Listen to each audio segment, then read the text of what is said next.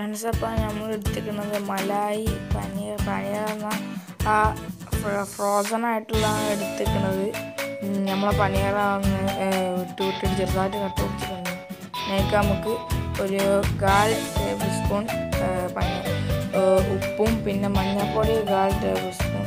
ഉപ്പ് അര ടീസ്പൂൺ ആണ് ഇത്. കാൽ ടീസ്പൂൺ ഈ മഞ്ഞൾപ്പൊടി. പിന്നെ കോൺഫ്ലോറും മുളക് പൊടിയും. കോൺഫ്ലോർ ഒരു ടീസ്പൂൺ മുളക് പൊടിയും.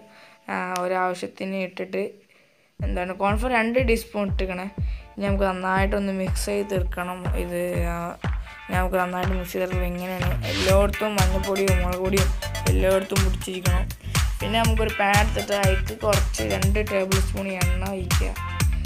സൺഫ്ലവർ ഓയിലാണ് നമ്മൾ ഒഴിച്ചിരിക്കണത്.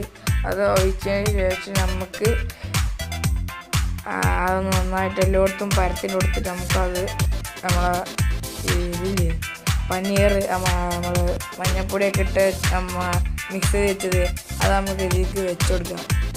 എണ്ണ ഇത് കുറച്ച് ചെറുതായിട്ടൊന്ന് പൊന്തിക്കുന്നത് എല്ലായിടത്തും നമ്മൾ വെച്ചെടുക്കണം ചെറുതായിട്ട് പൊന്തിക്കാൻ അതിന് പാത്രത്തിന് ചെറുതായിട്ട് എണ്ണ കുറച്ച് അവിടെ കണ്ടിരുന്നു സൈഡിലിന് മൊത്തം അവിടെ ചൂടിയാക്കുന്നുണ്ട് പിന്നെ അവിടെ ഗ്യാസ് അവിടേക്ക് മാറ്റിയിട്ട് ഗ്യാസ് അല്ല പാൻ അവിടേക്ക് എത്തിച്ചിട്ട് അവിടെ വെച്ച്. ഞങ്ങൾ കാണാം. എന്തായാലും നന്നായിട്ട് ഫ്രൈ ആയിട്ട് വന്നിക്കണം ഇനി നമുക്ക് ഇതെടുത്ത് വേറെ പാത്രത്തേക്ക് മാറ്റി വെക്കാം. പിന്നെ ഇത് എന്താണ് ഇത് ഇത് തിന്നുമ്പോൾ ഒരു എന്താണ് ഇറച്ചീന്റെ ഒരു ഫീലിംഗ് ഒക്കെ ഉണ്ടാകും നല്ല ടേസ്റ്റുമാണിത് അതുകൊണ്ടാണ് ഇത് നമ്മൾ നമ്മളെ സൂപ്പ് പനീർ പുലാവ് സൂപ്പ് കിടാൻ ഞങ്ങൾ ഉദ്ദേശിച്ചത്. നമുക്കിതൊന്ന് മാറ്റി വെച്ചിട്ട് കാണാം. നമുക്ക് ഒരു പാ ആ പാനെടുത്തിട്ട് അതിക്ക് രണ്ട് ഗ്ലാസ് വെള്ളം ഒഴിക്കാം. രണ്ട് ഗ്ലാസ് വെള്ളം ഒഴിച്ചിട്ട് നമ്മൾ സവാള ഉണ്ട്. സവാള രണ്ട് സവാള എന്താണ് നാല് കഷ്ണമാക്കിയിട്ട് അതിന്റെ നടു അരിഞ്ഞപ്പോൾ കുറച്ച് ചെറിയ കുറച്ചൊക്കെ വലിയ പീസാക്കി ഇത് നമുക്ക് അയക്കിട്ടിടുക എന്താണ് കുറച്ച് ഒരു എട്ടോ പത്തോ അങ്ങനെ പീസ് ഉണ്ടാവും ഒരു ഇതിൽ നിന്ന് എന്താണ് എട്ടെണ്ണം കിട്ടും സവാള. നടു നടു മുറിക്കാൻ സൈഡ് മുറിക്കാൻ നടു.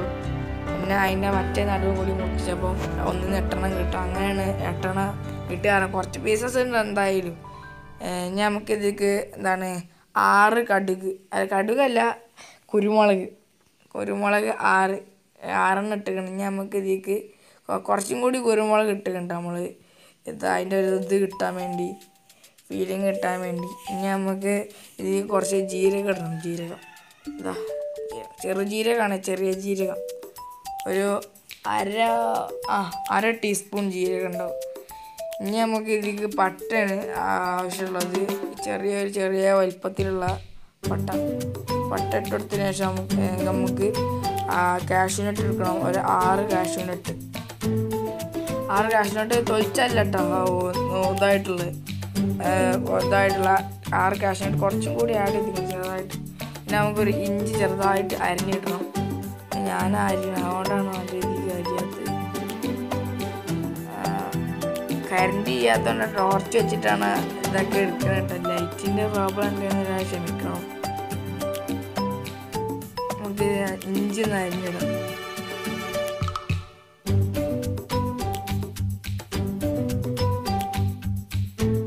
നമുക്ക് ആറ് അല്ലി വെളുത്തുള്ളി. ആ കുറച്ചൊക്കെ വലിയ അല്ലിയുള്ള വെളുത്തുള്ളിയാണ്. ഞാൻ നമുക്ക് ഒരു പച്ചമുളകിന്റെ ഒരു സൈഡ് മാത്രം കീറിയത് രണ്ടെണ്ണം ഇട്ട് കൊടുക്കണം.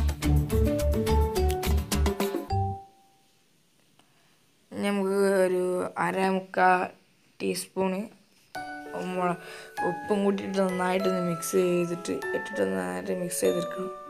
നമുക്കതൊന്ന് മൂടി വെക്കും കുറച്ച് നേരം. പിന്നെ അതാ മൂടി വെച്ചപ്പോൾ ദാ ഇങ്ങനെ. നല്ല ഉള്ളിയൊക്കെ നല്ല രീതിയിൽ അരി നിൽക്കാം നമുക്കിതൊന്ന് ഇനി അരിച്ചെടുക്കണം. നല്ല രീതിയിൽ ചെറിയ കണ്ണുകളായി അരിച്ചെടുക്കണം. അതിന്റെ വേറെ പതൊന്നും പോകരുത് അരിച്ചെടുക്കണം ഒന്നായിട്ട്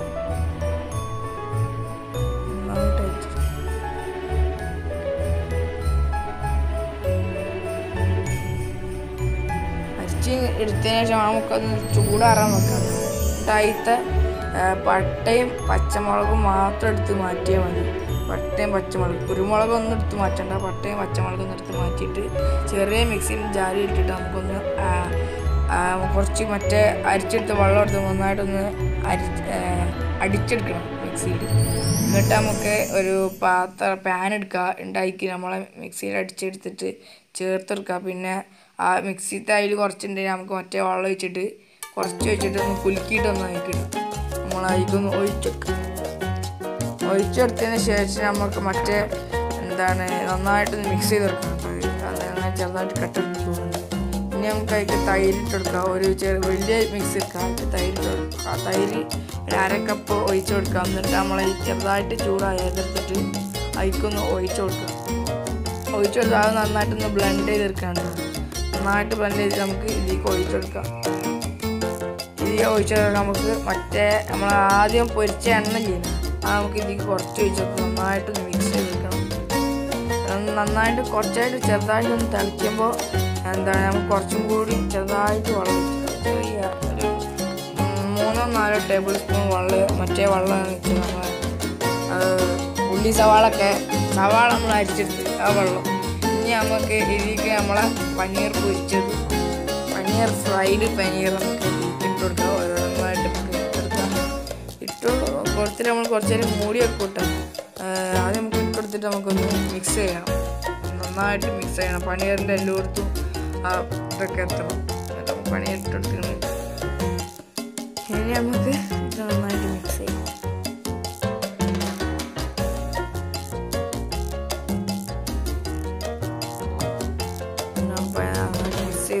മൂടി വെച്ചിട്ടുണ്ട് നമ്മൾ മൂടി മൂടിയിട്ട് കുറച്ച് നേരം വെച്ച് കഴിഞ്ഞപ്പോൾ അവ പനീർ നമ്മൾ റെഡി ആക്കണം. മൂടിയിട്ടുണ്ട്? ഒരു പത്തോ അഞ്ചോ മിനിറ്റ് നമുക്ക് ഇതിക്ക് നമ്മളെ ഇതിന് മുളകിന്റെ സോസ് മുളകിന്റെ സോസ് വെച്ചപ്പോൾ എന്താ ടേസ്റ്റ് ആണ്.